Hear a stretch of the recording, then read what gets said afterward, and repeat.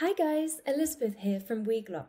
Today I'm going to show you how to add a language switcher to your WordPress website and how to customize it to meet the look and feel of your site. Firstly, why would you add a language switcher? Well, there are a number of benefits, such as reaching new audiences and allowing your website visitors to view your website in their preferred language. It's also great for SEO and you'll be more visible in new countries. So, what is a language switcher? Well, essentially, it's a button like this that allows website visitors to switch between the language of their choice. So, let's get started. They aren't always buttons, for example. They can be language codes, such as this, even drop downs, like this, or even flags. And they can pretty much be placed anywhere on the page, as long as it makes logical sense.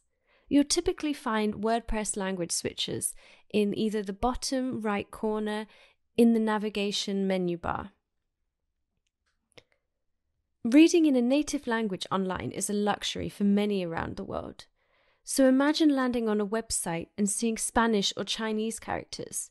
If you don't speak those languages, the first thing you would look for is a WordPress language switcher, right?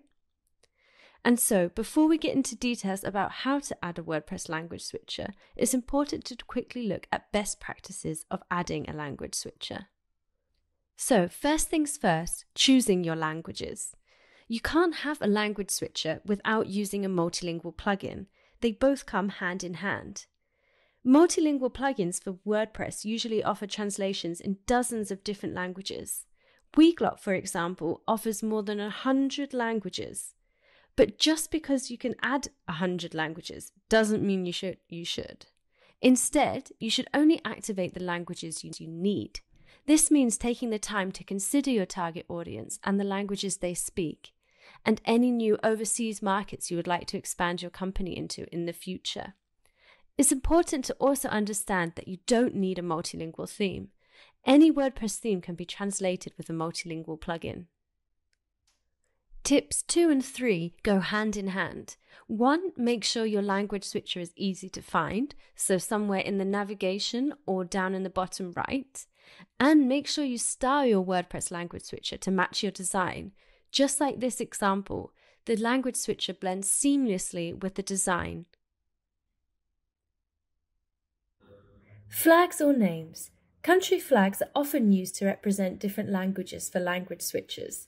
And whilst they do look good from a design perspective, they're not always representative of the language or the country.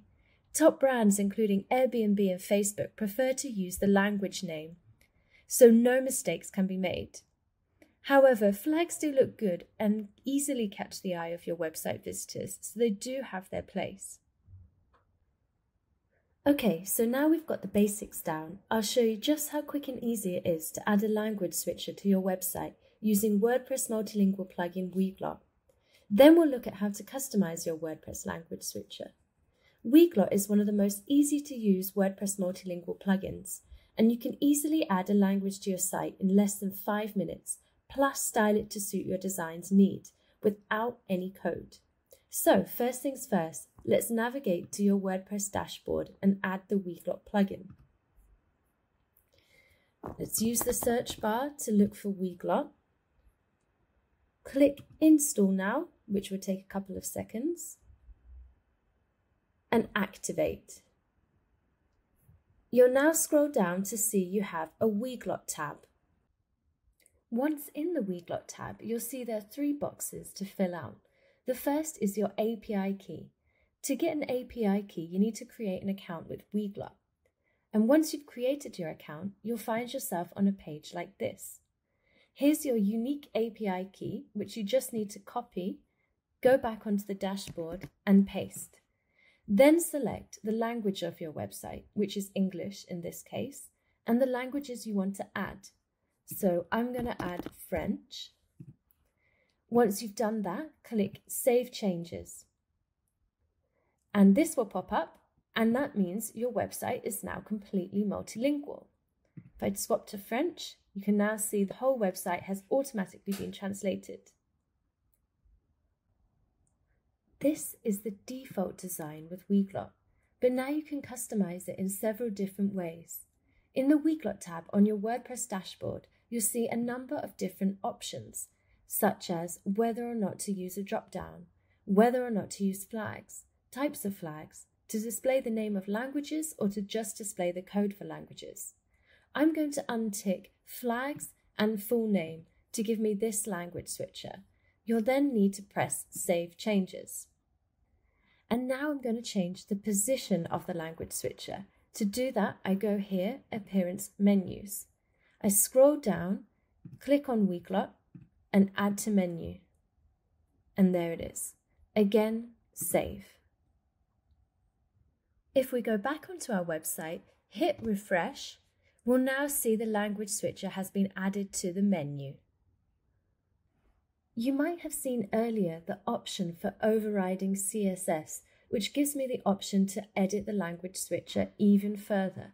So what about if I want to display just the two language codes sitting next to each other? I'll use CSS to change the font color and weight of the text so that it better fits the style of my design and website. So if I click in here, I've got some custom code there. And then again, scroll down and save changes. We can then go back on our website, click refresh, and we'll see that the language switcher is now in the menu bar. Let's again click through and see that it's working perfectly.